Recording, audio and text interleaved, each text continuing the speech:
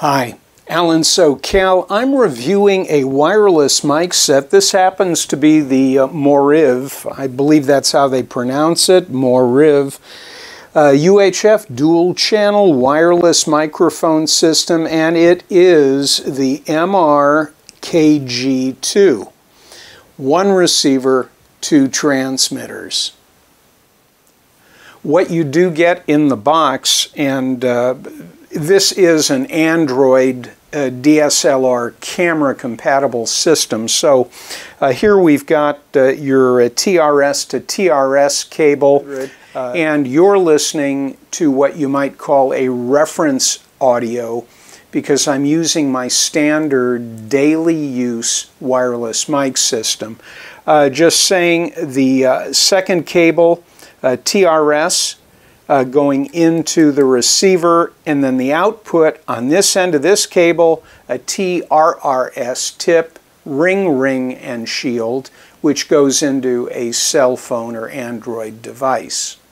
Be mindful too, uh, there's a very nice die cut uh, foam insert in this box and uh, as I've said on other items, in this case I would save this box as your storage device because it won't get much better than this.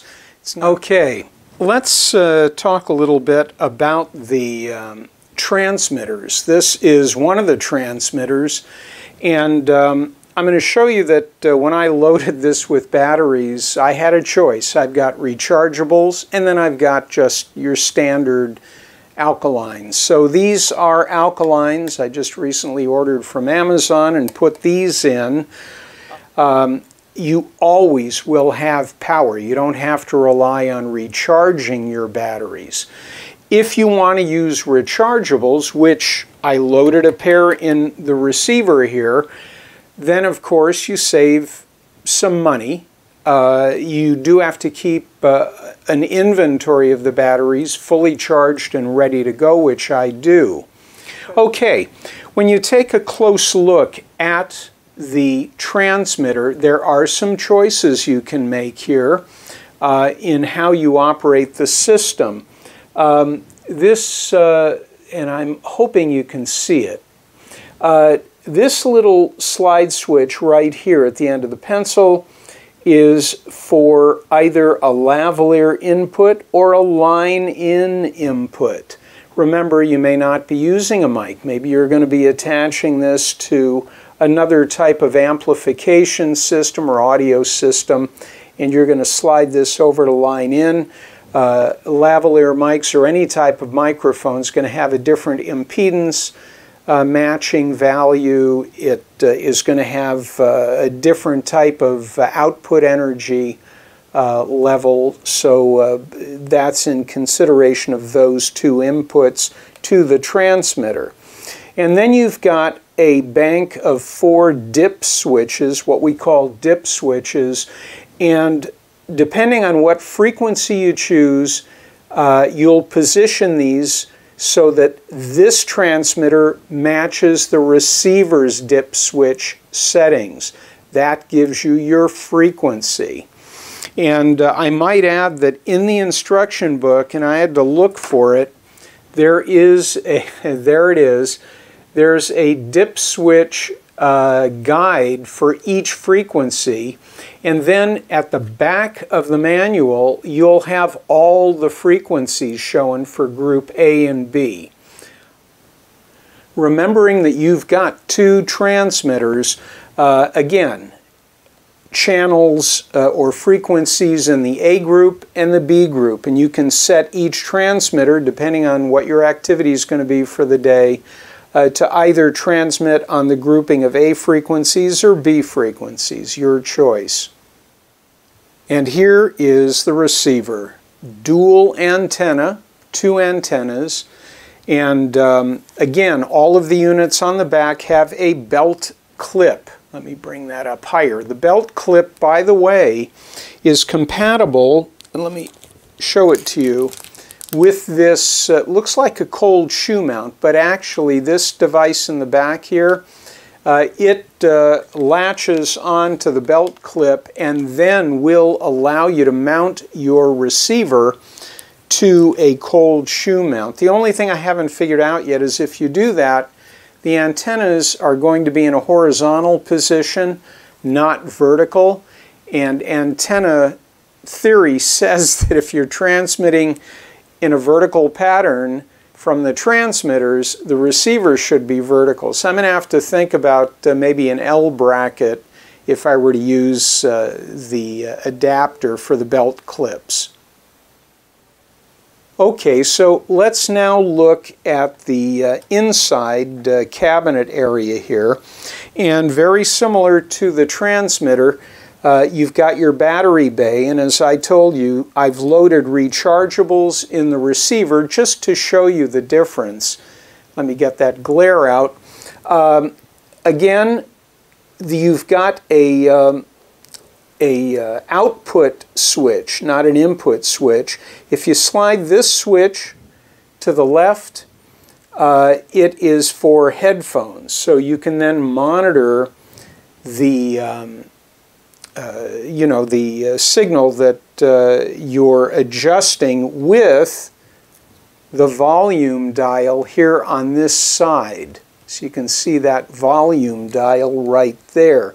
And I did that. I plugged my headphones into the top so I could make my adjustments. When you're done doing the adjustments, you flick the switch to the right and now this is a line out signal instead of uh, your earphone audio out. Uh, you've got the dip switches for setting the exact frequency that it, this receiver is going to listen to. And in this case, uh, you've got a stereo or mono switch so that you can either listen to each transmitter uh, in its own unique audio channels left and right, or if you switch to mono, both transmitters as I understand it, will feed into the receiver as a monophonic signal, not directional A and B channels, just one channel. Okay, well, the results are in. Uh, I did my very, very first test, which I'm not even going to show the clip to you. And what happened, I was severely overdriving my camera with audio. Turned out I forgot to, on the receiver, slide the, the, the switch on its output choice. I forgot to go from uh, headsets to line out, meaning uh, a totally different audio out level. Uh, and uh, so I made that change, and what you're hearing now is a fully adjusted audio level. Number one, I, after I made that switch, I used my camera's digital uh, bar guides to show me the audio level uh, that I was creating using this uh, transmit receive system. And I've got to tell you, I am really impressed with it. It's good audio. I like it. I'm going to give you the one caution. This is my overall opinion. This is not, in my opinion, a transceiver set for someone who wants something totally automated. Everything about this is manual. And uh, if you come from the old school of transceivers, uh, all of these adjustments will make sense. It doesn't uh, auto pair, it, it is a manual pairing. Once you set it up, it immediately uh, transmit to receiver talks to one another but you've got to make your uh, frequency choices. It won't make them for you. All of that shared with you, I just will say that for me it's a five star item. The price was good. I like the external antennas. It's a body clamp system, and the other feature I do like is the fact that you put in your own batteries. It's not internally rechargeable, but you know what?